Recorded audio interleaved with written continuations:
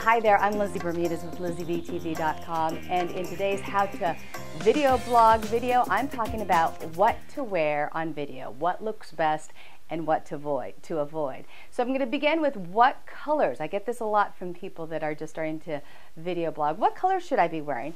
Try to stick with really bold, strong, jewel toned colors. In fact, I wore this bright fuchsia, bright pink colored blouse to give you an example. It really pops on camera. Visually, it adds another dimension and it really makes whoever's talking, whatever visual image is on camera, just stand out a little bit better. Now you want to avoid colors that will have weird effects on the camera lens and maybe even drown you out. So try to avoid colors like solid white and black and even red. Those have weird effects on the camera lens.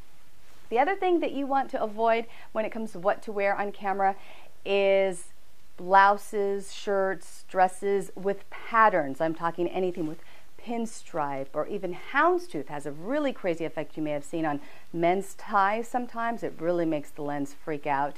And avoid logos if you can. If it's part of your shtick and maybe you're sponsored by somebody or you're trying to do an advertisement for someone, then I'd make the exception. Otherwise, if you wear things on your shirt, it's just another thing that will distract your viewer. And you really want your people to focus on your face and what you are saying. So those are my quick tips on what to and what not to wear when it comes to video blogging. Hope that helps. If you have any questions, please drop me a line, Lizzie at LizzieBTV.com. And thanks so much for watching. Bye-bye.